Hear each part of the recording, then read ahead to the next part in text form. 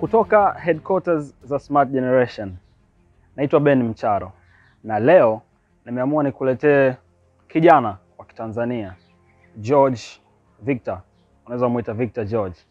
Um, story yake ni inspiring kidogo, ambayo mimi alituma ali, ali, tu kwenye DM ya Smart Generation. Tulikuwa tunazungumzia zungumzia masuala ya karia na nini, akaamua kutuelezea namna ambavyo yeye alikuwa anapenda sana kucheza mpira, akajikuta amesomea informatics, alafu mwisho wa siku akajikuta anafundisha shuleni. Nisikuelezee sana, wewe njoo tumsikilize kwa pamoja, alafu utaamua eh, kwamba umekuwa inspired, umekuwa motivated ama umejifunza tu na kesho utaenda kuyafanyia kazi yale ambayo umejifunza leo. Karibu sana. Karibu sana Victor. Ah, okay, asante sana. Um, karibu sana Smart Generation. Yes. I hope kwamba ume, umejisikia vizuri kufika hapa. Yeah. Labda twende moja kwa moja kwenye kilichosababisha mpaka wewe ukaja. Uli, ulituma story yako Yes. Jana Mm. jana tu Mm. uh, wakati ambapo tulikuwa tunazungumza zungumza masuala ya kuhusu karia, watu wamepoteza ndoto zao, watu wamefanya nini, ukatuma sto, story yako, mi ilinivutia kidogo, nikasema Mm. ni muhimu basi ufike ili uizungumze stori yako wewe wewe mwenyewe. Mi sikutaka yes. nichukue ile ni, ni, ni, ni post sema Mm. uje uizungumze wewe mwenyewe, watu wakusikie wewe, wajifunze kutoka kwako wewe mwenyewe. Yeah. Kwa labda tuanze kwenye ni ipi hasa ilikuwa ndoto yako? Ah, okay. Kwanza nawashukuru sana maana nimekuwa nikiwafuatilia sana. Mna impress vijana. Sawa sawa. Ah, okay. Mimi naitwa Victor George. Mm. Ni naweza kusema sasa hivi nina nafanya biashara na vile vile na, na, na, na, ni, naendesha ligi tofauti tofauti. Mm. Mimi ndoto yangu ilikuwa kwamba niwe mcheza mpira Okay. na nilijitahidi kweli, nilicheza kwa kiasi chake, kuna mahali nilifika, na nakumbuka katika kucheza kwangu katika miseta nilifika hadi timu ya wilaya ya, ya Kinondoni, Mm. Lakini kutokana na masomo Mm. yalinifanya nisiendelee na mpira. Okay, mzee wangu alipenda nisome sa, nisome nisiwe nisingie kwenye tofauti na kusoma, kwa hiyo hiyo Mm. hiyo kanifanya niende upande wa pili ambao ni kusoma Mm. ya na na na, na, nadhani hicho ndo kilifanya nisiweze kufikia ndoto yangu. Unadhani mzee wako alikukosea kukuambia usome badala ya kwenda kucheza mpira? Kwa hapana, hajakosea kwa sababu yeye alitaka niwe katika sehemu nzuri, kwa sababu tunaamini wasomi wapo katika sehemu nzuri, lakini na pamoja na kuna nilivyo- nilivyosoma mpaka nilivyofikia kumenisaidia sana hata katika shughuli ninazoziendesha sasa hivi, ni elimu niloipata. Okay. Mm. Um, katika kusoma kwako Yes. umefika level gani ya shule? Ah, okay, mimi ni, ni na degree ya ni Bachelor of Science in Informatics. Mm. Nimesomea Sokoine, chuo cha kilimo. Yes. So- Sokoine. Eh, Okay. Um, wakati wakati una una unasafiri kwenye hii safari yako ya elimu yes.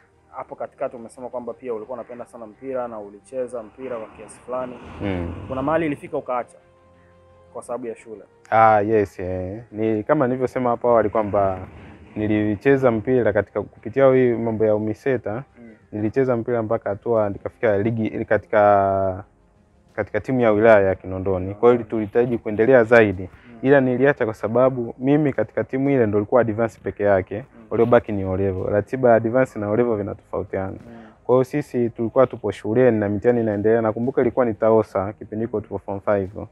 tunaenda kufanya mtihani wa TAOSA. Yaani ilikuwa tupo kambini, ilikuwa tunaenda siku za Ijumaa, Jumamosi na Jumapili. Sasa tupo kambini Jumapili, alafu Jumatatu tunaingia kwenye mtihani wa TAOSA ambao ni, ni ilikuwa TAOSA ni, ni Dar es Salaam na Pwani. Mm. Kwa hiyo asubuhi yake tunaanza na pure advance.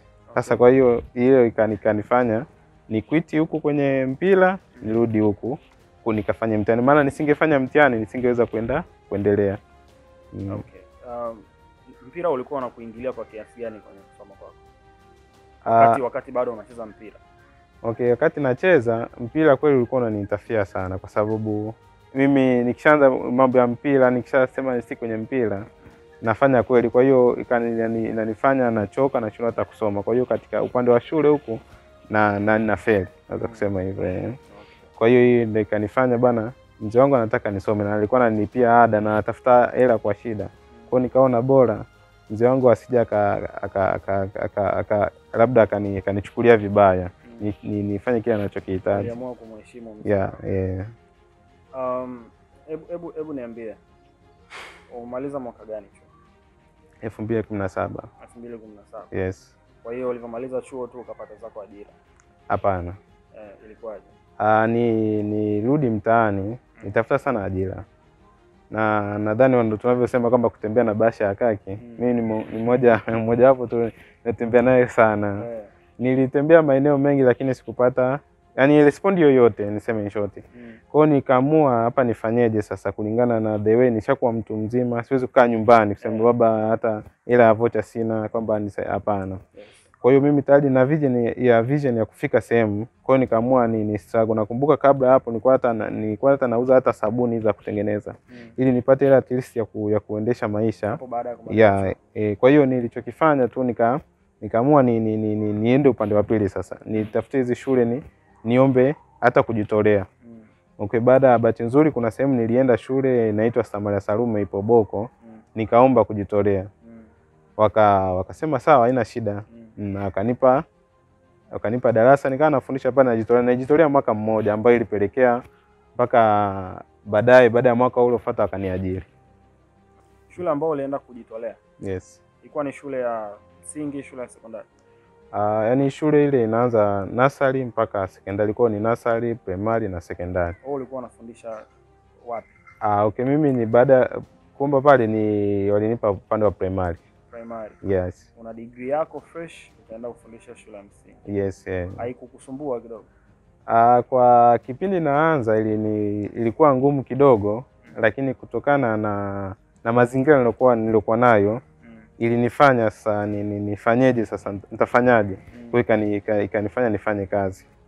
Uh, moyoni ulikuwa hauumii kwamba "Ah, mi bwana Mm. nilikuwa na ndoto ya kucheza mpira, Yes. mzee kaniambia nikasome, Mm. nimeenda nimesoma, sasa hivi nimeshamaliza shule ambayo mzee alini alinihusia nisome, Mm. sijapata kazi na degree yangu hii inaenda kufundisha shule ya msingi.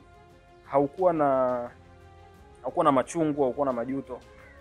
Hapana, sikuwa na kusema, nilikuwa na machungu lakini majuto hapana, kwa sababu nilikuwa najua kesho ni kitu gani nafanya Mm, na inabidi nifanye, ni- kwa sababu mimi nienda pale kwamba at least nipate kidogo mm, kitakachonisaidia kufanya vi, malengo kitakachonisaidia kutimiza malengo nilokuwa nayo. mm. Kwa hiyo that's why nilifanya kazi kwa juhudi kubwa, ndio ilipelekea mpaka kuni kuniajiri, kwa sababu kuna watu wengine walikuwa wanajitolea pale afu wanaondolewa, lakini mimi nikaajiriwa. Hebu tuzungumzie kidogo swala la kufundisha. Yes. Um, kuna tofauti kubwa sana ya kufundisha wanafunzi wa shule ya msingi, wa nasari na wa sekondari. Yes, yeah. Uh, na wewe hukuwa umesomea ualimu kwa namna yoyote. Mm. Mwanzoni ilikusumbua, Yes, yeah. lakini uliwezaje ku uliwezaje ku cope na hiyo situation? Yaani uliwezaje kuwa sasa mwalimu mzuri wakati hujasomea ualimu? Uh, na mimi kitu kilichonisaidia ni kwamba nilikuwa najua nafanya nini mm. na nahitaji nini. Kwa hiyo ili- ili- ili- ili- ilikuja changamoto ndiyo, kwa sababu kwa mfano kama wale ni watoto wadogo kuweza kuwa maintain sijui, La ila wenzangu wale waliosomea education wamefundishwa jinsi ya ku maintain darasa, ku maintain wanafunzi.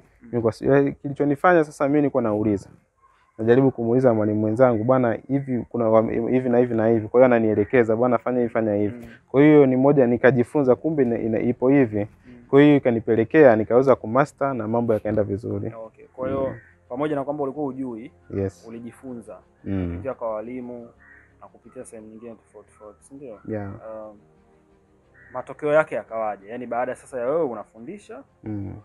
ume, kwa kujifunza, yaani wewe ulikuwa hujasomea walimu aina yoyote, Yes. ilikuwaje? Ulifanikiwa kuwa mwalimu mzuri ama bado ulikuwa unapata shida? Ah, nilifanikiwa nikawa mwalimu mzuri. Mm. Baadaye sasa, baada ya kuendelea, baada ya kuona kwamba ni, ni, nipo vizuri, Mm. wakanipa madarasa madarasa ya mtihani, maana ukipewa darasa la mtihani Mm. ni itimizi kwamba wewe ushakuwa mzuri. Okay. Na nili, nakumbuka nilipewa nili darasa la saba Mm. darasa la saba pale walikuwa hawajawahi kupata hawajawahi kupata A, zilikuwa zinakuwaga sita za hesabu za sayansi walikuwa bado hajawahi kupata, nionyeshaga B kwenye NECTA lakini mimi walivyonikabidhi darasa na nakumbuka mkuu wa shule ananiambia kwamba nakupa kazi, yani lazima uifanye by any means, kwa hiyo nitakusumbua. Nikamwambia okay, sawa, haina shida. Kwa hiyo alinikabidhi darasa la saba, nikawa nafundisha hesabu na sayansi. Kwa hiyo nilichokifanya sasa, nikajua bwana, hawa wa- wanafunzi nawafanyaje ili kusudi waelewe. Kwa hiyo nikaja na mbinu nyingi tofauti tofauti ambazo zilipelekea mwishoni wakafaulu, na nakumbuka A zika zikaongezeka hadi wakapata A za sayansi. Kwa hiyo ikanifanya nakumbuka, ndio mwaka huu nikawa hata mwalimu bora. Okay. Kwa hiyo uli, uli, ulipata kuwa mwalimu bora pia kwa Yeah, yes. shule ya unafundisha. Yes, eh, kupitia hapo nikawa mwalimu bora. Kutokana na juhudi nilizoziweka, kwa sababu kufundisha hesabu na sayansi so so so, so jambo dogo, ni, ni inakuhitaji utulize akili na usome akili za wanafunzi unaowafundisha, kwamba ilikuwa nanifanya sasa, mimi nilikuwa sina hata kazi nyingine, yani kazi zangu za kufanya mwenyewe ilikuwa na kwa muda wote ni akili yangu yote nilikuwa nawaza pale. Kwamba na, natafuta material kutoka sehemu tofauti tofauti, walimu mbalimbali na mwingine naingia mtandaoni. Kwa hiyo kila kitu, kila siku tuna nikuelekeza wale watoto, hata siku za weekend mimi nadili nao, ndio ikapelekea mpaka nika nika wakafanikisha wakafaulu vizuri no. Ulishawahi kuwa na na, na na ndoto ama na matamanio ya kuja kuwa mwalimu wakati ukiwa bado kijana mdogo? Kusema kweli, hapana. Mimi ndoto yangu kubwa ilikuwa ni, ni, ni, ni, ni, ni kucheza mpira Sasa ilikuwaje mm. Um, ukuwahi kuwa na hiyo matamanio ya, ku, ya kuwa mwalimu Mm. alafu ukaenda kufundisha na ukawa mwalimu mzuri mpaka ukachaguliwa kuwa mwalimu bora wa shule? Uh, yani ni kwamba mimi navyofanya kazi Mm. hata nikipewa kazi, kwa mfano najua hii kazi ina manufaa gani kwangu mimi, Mm. kwa hiyo naifanya kwa weledi mkubwa, Mm. nahakikisha ilivyolengwa ndo na- naitimiza hivyo hivyo, Mm. kwamba kwa mfano nili- nili- nili- nili- niliingia kwenye ualimu ili at least nijikwamue Mm. kutokana na kutafuta ajira sipati. Mm. Kwa hiyo nili, nili, nili, ni kitu nilichojiwekea kwamba nifanye kazi kwa weledi ili kusudi hata yule aliyenipa kazi baadaye aone kwamba is the best. Okay. Ya, kwa hiyo ndio kitu kilichonifanya niweze kuwa mwalimu bora na na, na, na, na, na, na niweze ku- ku- ku- ku- kuweza kufanya kupata matokeo mazuri.